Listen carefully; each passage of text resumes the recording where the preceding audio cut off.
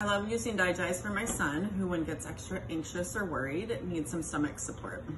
I have a son who constantly gets motion sickness and DiGize is always in the cup holder where he sits in the car and he just puts his finger on it and sticks a drop under his tongue and easy peasy.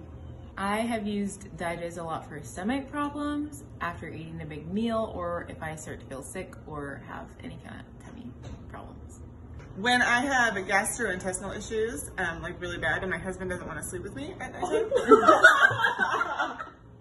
I'll put like three drops of DiGize Vitality in my mouth, three drops of oil over my tummy, just relieves all of that stuff in my tummy, and then my husband's happy, and so I.